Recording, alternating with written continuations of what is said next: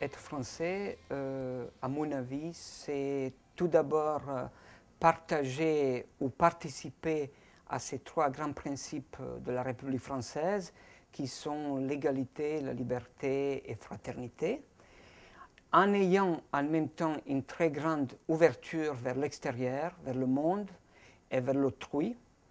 et aussi euh, accepter les différences des autres, les différences des autres qui viennent ici en France et qui, euh,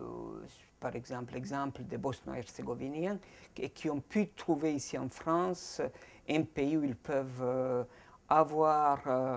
des, chances égales, où, ils peuvent réussir professionnellement et aussi où ils peuvent jouir de tous les droits démocratiques.